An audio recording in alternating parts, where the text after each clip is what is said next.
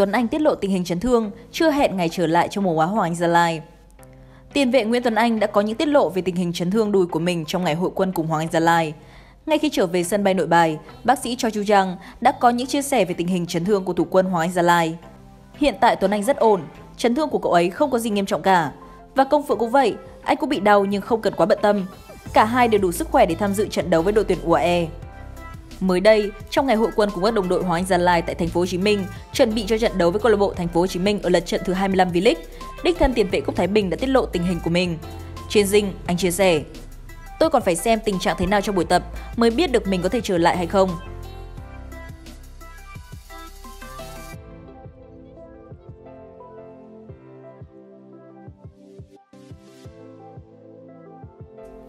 Thái Lan tập trung sớm vì đại chiến Việt Nam.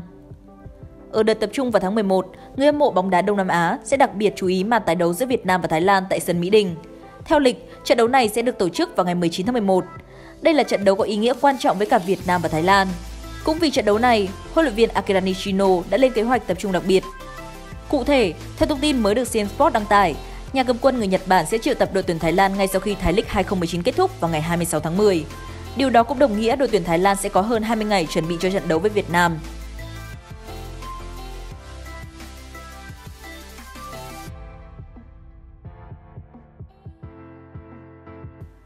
Rắc rối thông tin về hợp đồng của ông Park Hợp đồng của huấn luyện viên Park Seo với Liên đoàn bóng đá Việt Nam VFF sẽ hết hạn vào tháng 1 năm 2020. Theo điều khoản ký kết ban đầu, trước 3 tháng khi hợp đồng hết hạn, các bên sẽ ngồi lại với nhau để chốt tương lai của nhà cầm quân người Hàn. Chiều nay, 17 tháng 10, tờ CM Sport của Thái Lan đưa tin, Liên đoàn bóng đá Việt Nam đã chuẩn bị gia hạn hợp đồng với huấn luyện viên Park Seo thêm 3 năm. Hợp đồng sẽ được hai bên hoàn tất trước khi đội tuyển Việt Nam bước vào tranh tài với đội tuyển UAE tại vòng loại thứ hai World Cup 2022 khu vực châu Á diễn ra vào ngày 14 tháng 11. Tuy nhiên, đây là thông tin mà CN Sport khai thác từ truyền thông Việt Nam, cụ thể là tờ Lao động.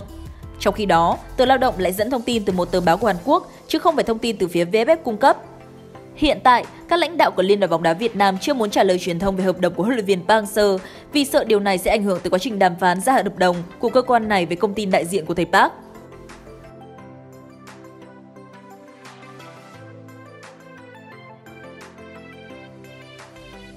Xuân Trường báo tin vui đến người hâm mộ Việt Nam. Theo thông tin mới nhất thì tiền vệ Lương Xuân Trường đã được các bác sĩ phẫu thuật thành công ở bệnh viện tại Hàn Quốc. Do tiền vệ người tuyên quang kín tiếng nên toàn bộ thông tin về các phẫu thuật được giấu cho đến ngày hôm nay, 17 tháng 10 mới được tiết lộ. Xuân Trường phẫu thuật và điều trị tại bệnh viện Inega, Hàn Quốc. Đây là nơi mà các cầu thủ khác như Tuấn Anh, Văn Thanh, Đình Trọng và Xuân Hương được phẫu thuật và điều trị. Hiện tại, Xuân Trường đang nằm viện và được các bác sĩ theo dõi sau phẫu thuật. Theo kế hoạch, tiền vệ người tuyên quang sẽ cần ít nhất 6 tháng để tập luyện, hồi phục. Được biết, cầu thủ sinh năm 1995 sẽ ở lại Hàn Quốc đến Tết Nguyên đán mới quay về Việt Nam.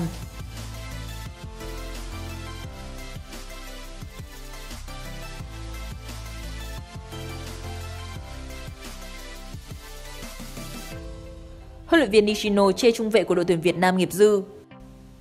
Sau trận hòa không đều với Việt Nam hôm 5 tháng 9, Thái Lan càng thi đấu càng hay.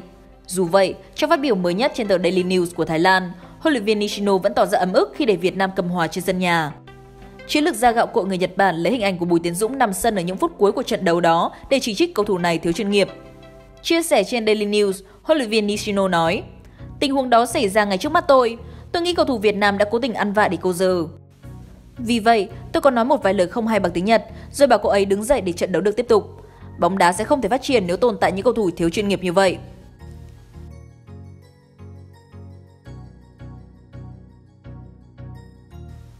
Việt Nam có bản quyền vòng chung kết U23 châu Á 2020. Sau thời gian dài đàm phán, Đài truyền hình Việt Nam VTV đã chính thức sở hữu bản quyền truyền thông, trở thành đơn vị phát sóng chính thức vòng chung kết U23 châu Á 2020 tổ chức tại Thái Lan từ ngày 8 tháng 1 năm 2020 đến 26 tháng 1 năm 2020. Cụ thể, Đài truyền hình Việt Nam có quyền độc quyền truyền hình mặt đất, Internet, mobile, OTT và radio trong lãnh thổ Việt Nam trên cơ sở miễn phí. Vòng chung kết U23 châu Á 2020 sẽ diễn ra tại Thái Lan từ ngày 8 đến ngày 26 tháng 1 năm 2020 với sự góp mặt của 16 đội bóng. Vòng chung kết U23 châu Á 2020 là giải đấu để xác định các đội giành quyền dự Olympic Tokyo 2020 ở Nhật Bản. Theo đó, 3 đội đứng đầu giải hoặc 4 đội nếu U23 Nhật Bản lọt vào bán kết sẽ có vé dự Olympic Tokyo 2020.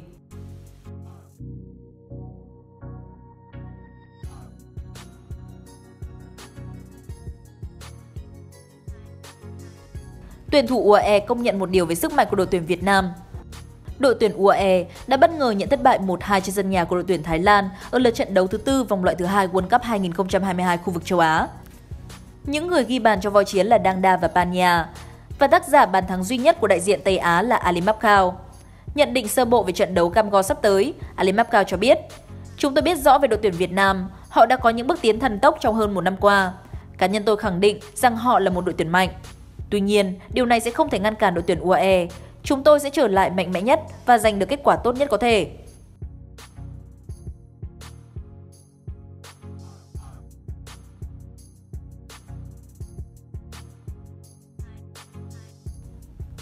Văn Lâm tập luyện cùng Mua Thông ngay khi quay lại Thái Lan. Sau hai trận đấu cùng tuyển Việt Nam tại vòng loại World Cup 2022, thủ môn Văn Lâm đã trở về hội quân cùng Mua Thông United. Tối 17 tháng 10, fanpage của Muang Thong đã đăng tải hình ảnh tập luyện của các cầu thủ. Ngoài Văn Lâm, một số cái tên quen thuộc với khán giả Việt Nam như Adisak Grayson hay Tiasin Đăng Đà cũng có mặt.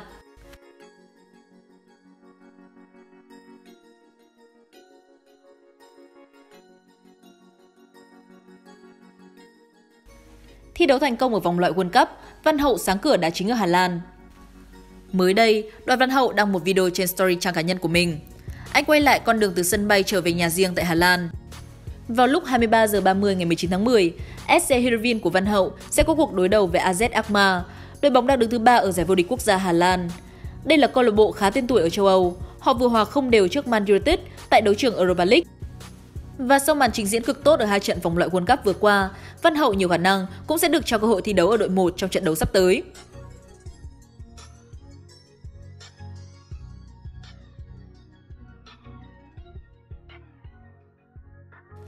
Xác định bốn đội bóng góp mặt tại vòng chung kết U21 quốc gia 2019.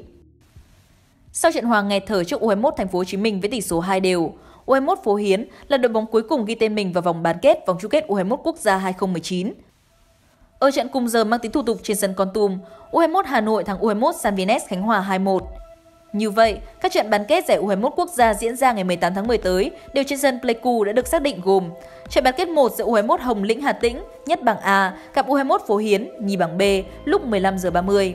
Trận bán kết 2 giữa U21 Hà Nội, nhất bảng B, gặp U21 Đồng Tháp, nhì bảng A lúc 18 giờ.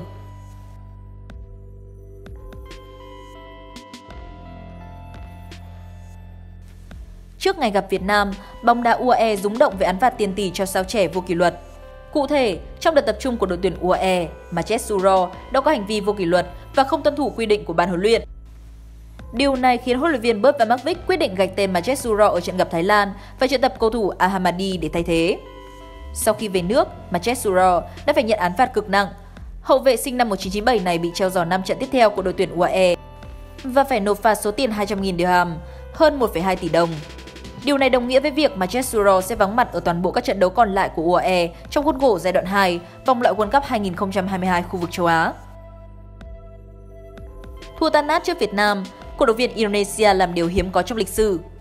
Vừa qua, sau trận thua tuyển Việt Nam ngay tại Bali, huấn luyện viên Simon McManamy đã vấp phải làn sóng tẩy chay vô cùng mạnh mẽ từ cổ động viên Indonesia. Không chỉ yêu cầu ông Simon McManamy từ chức hoặc đề nghị lãnh đạo bóng đá Indonesia sa thải nhà cầm quân người Scotland, các cổ động viên còn tha thiết gửi lời khẩn cầu tới cựu huấn luyện viên Luis Milla hãy quay trở lại để vực dậy đội tuyển quốc gia. Theo tờ báo Indosport, trong bối cảnh mà ông Simon McManamy vẫn chưa bị bay ghế, còn ông Luis Milla thì chưa xác nhận việc có sẵn sàng trở lại hay không. Các cổ động viên xứ vạn đảo đang cực kỳ sốt ruột.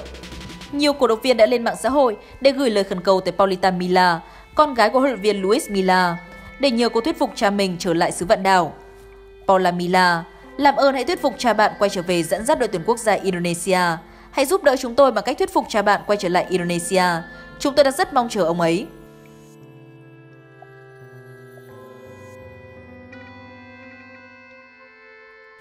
Trung Quốc lại gây sốc, làm người mộ choáng váng vì thua đau Indonesia. Hòng chuẩn bị cho vòng loại U19 châu Á sắp diễn ra 2 đến 10 tháng 11. U19 Trung Quốc có trận giao hữu với U19 Indonesia tại sân vận động Gelora Bung Tomo lúc 19 giờ ngày 17 tháng 10. Dù được đánh giá nhỉnh hơn, nhưng U19 Trung Quốc lại dễ dàng để thủng lưới tới 3 bàn không gỡ ở hiệp 1. Sau thất bại 0-2 trước U22 Việt Nam, hay trận hòa không đều của đội tuyển quốc gia trước Singapore, Trung Quốc lại một lần nữa nhận kết quả bẽ bàng. Thể hiện phong độ tệ hại thế này, Trung Quốc gần như không có khả năng cạnh tranh vị trí nhất bảng với Hàn Quốc. Trong khi đó, các đội còn lại, đặc biệt là U19 Myanmar không hề dễ chơi. Khả năng không thể vượt qua vòng loại của Trung Quốc là khá lớn. Thông tin này đã khép lại bản tin bóng đá Việt Nam ngày 18 tháng 10 của Việt Nam Football TV. Cảm ơn vì đã chú ý đón xem. Xin chào và hẹn gặp lại!